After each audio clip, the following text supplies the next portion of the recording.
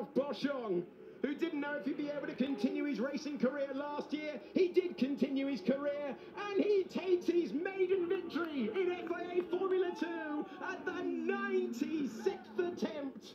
Boschung perseveres to the top step of the podium. Hauger with a supreme drive to take second place and a brilliant maiden podium on first time. 20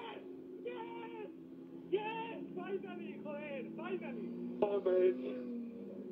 Thank you, guys. Oh, no, no.